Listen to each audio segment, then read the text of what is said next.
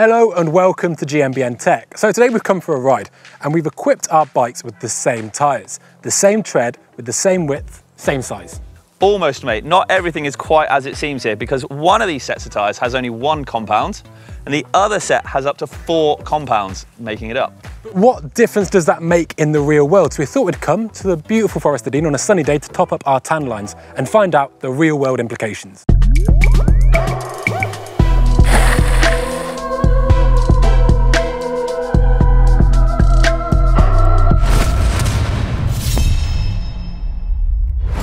The benefits then of having four different compounds on your tyre? Is that not over egging the pudding slightly? Well, what you can do is you can use each compound exactly where you need it. So you can have a firmer compound at the base of a knob to provide extra support or stability, while using a softer compound on the surface of the tyre to achieve better grip. That's very true. And actually that works across the width of the tyre as well, because you can have a firmer compound in the middle of the tyre for rolling speed, and on the edges a slightly softer compound to help with cornering grip. Exactly. So Henry, with fast XC rolling tyres like this, surely you want as firm a compound as possible? Well, that kind of used to be the accepted school of thought, but now there are more considerations at play. So how supple the tyre is, the width, the tread pattern, as well as the inclusion of modern super materials like graphene. It's all got the aim of giving you that grip that we talked about earlier on, but not compromising it in terms of rolling speed. I see, and I guess as a sort of a rider and racer alike then, that you're constantly striving not only for that fast rolling speed, but cornering grip as well. And like you said, if, a, uh, if you have a softer compound on the edges, then that tyre is going to sort of mould itself to the ground. And then when you lean it back upright, you're going to have that rolling pace there as well. Exactly. So Henry, I have raced my bike all over the world on many different terrains and in lots of different countries. And I can honestly say that actually having a tyre with multiple compounds has been a great benefit. You know, you've still got that you know, rolling speed when I'm going flat out in a race run, but I know that the confidence is there when I lean into a turn and I've got a nice softer compound on the side. So why are guys still making single compound tyres? Well, it's like anything. I imagine it's probably actually pretty difficult to make a tyre with one compound to make a tyre with two compounds probably is another element, another challenge. When you get to three and four, I imagine it requires a huge amount of expertise and toolage. And so you get tyres that are mono compound, dual compound, or in these case, four compounds. And that option is really important because you know, there's got to be a tyre out there to suit all budgets and application. So we've got some comparisons planned for the day, and we're obviously trying to isolate the compound. So what are we keeping the same? Well, mate, we've got a few experiments lined up, like you said, but we are going to be using exactly the same width tyre.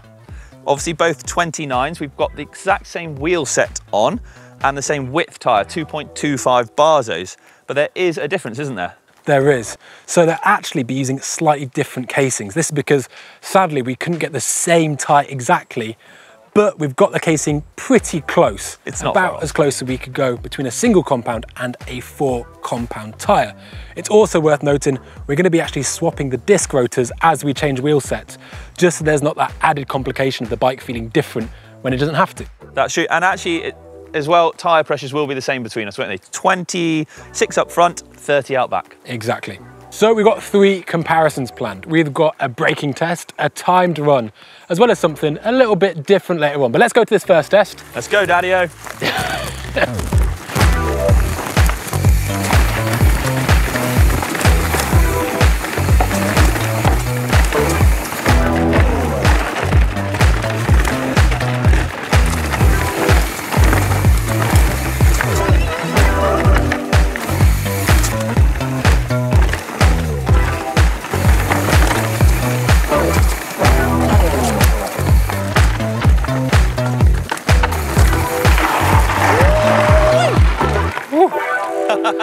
So the braking test.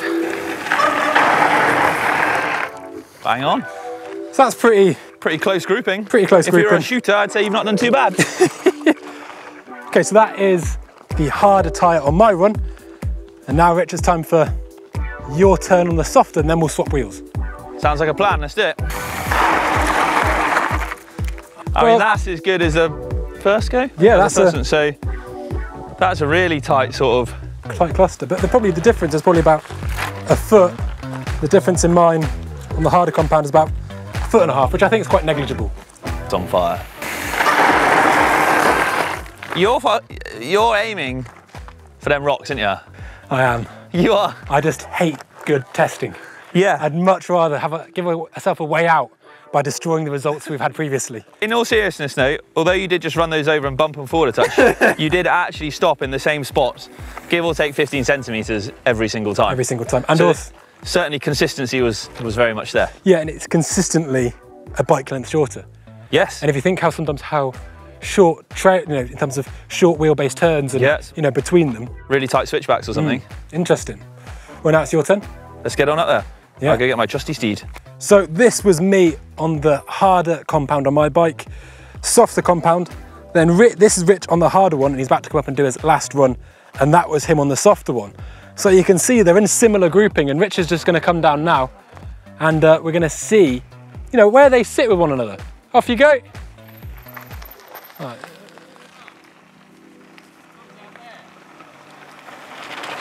Hold on the anchors. Oh. Slightly longer on that one. So we've just done our braking comparison. And here you can see the harder compound for me and the harder compound for you. And out back, we've got softer and softer. Yep. Now, actually, this looks like there is a kind of a relatively similar distances, about a bike length. But why would there be any difference between my results and your results? I'm glad you asked, Henry. So actually on my bike, I'm running a larger rotor. I'm running the 203 up front, so I do have a little bit more stopping power.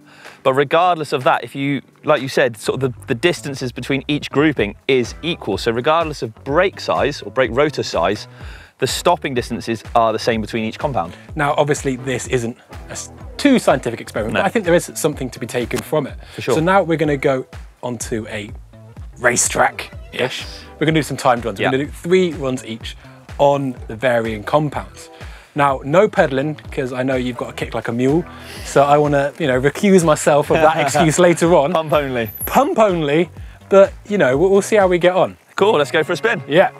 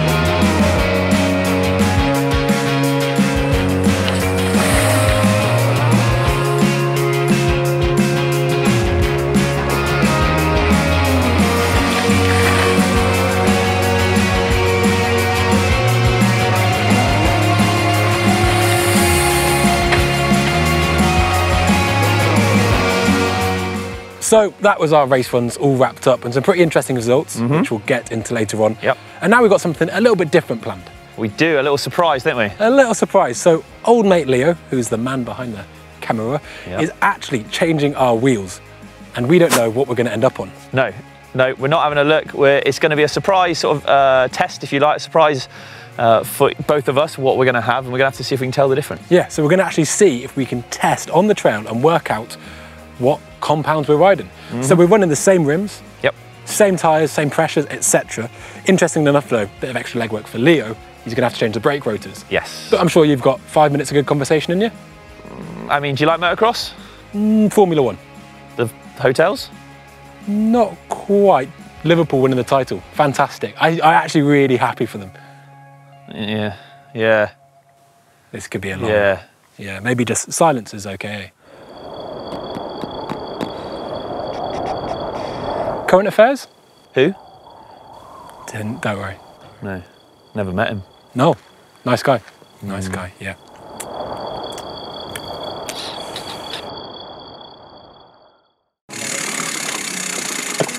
Oh. Right. Okay. No looking.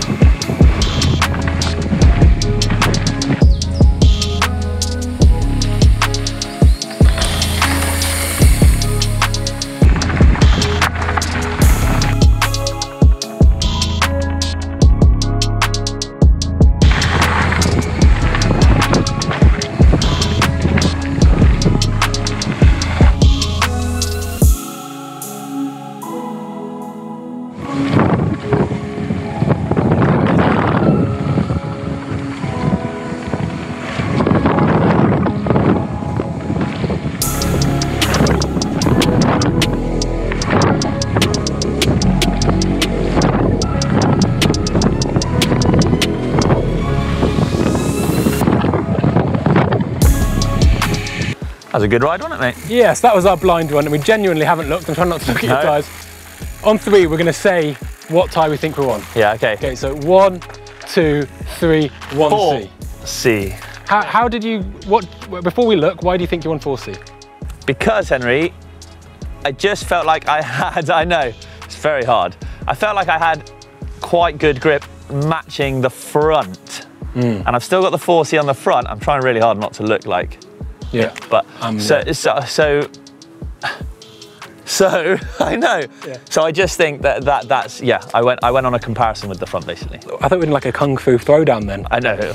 But I felt that there was, it's not too much like, it's not night and day, but there was a bit more scraping sound, under braking. Yeah. You know, that kind of, you feel like instead of actually penetrating the dirt, it's kind of Yeah. moving on top of the dirt. Yeah yeah yeah. Shall we look? Go. Oh. Yeah! Nice. That would have undermined the whole video if we got it wrong. So, Leo, I thought Leo was trying to double bluff us. Mind games. but that's very good. Right.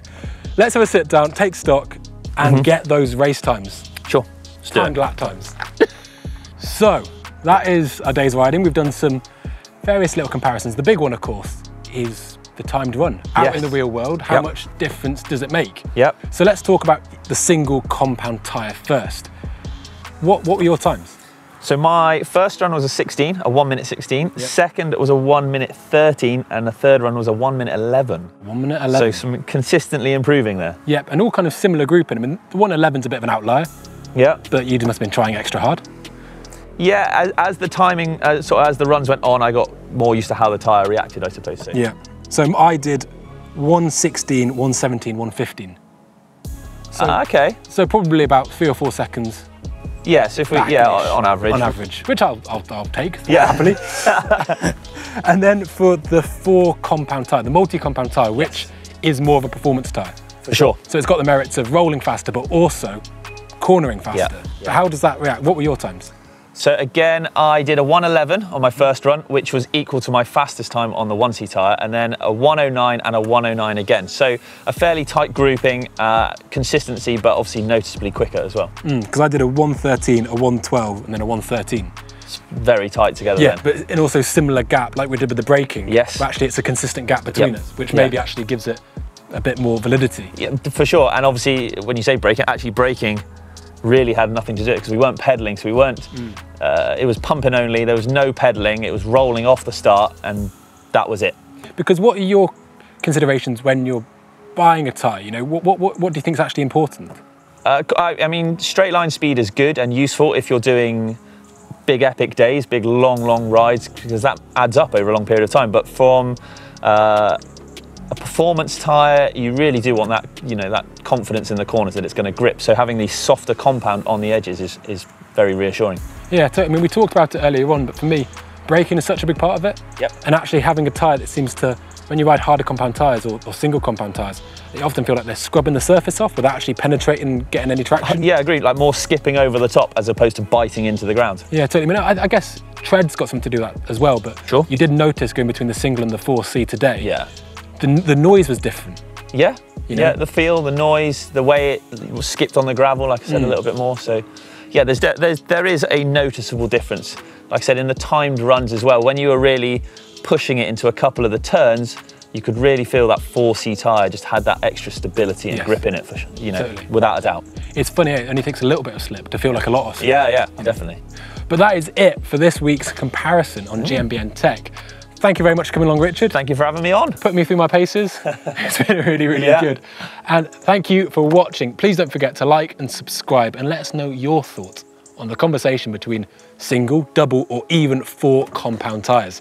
Thanks, guys, and we'll see you next time. Cheers.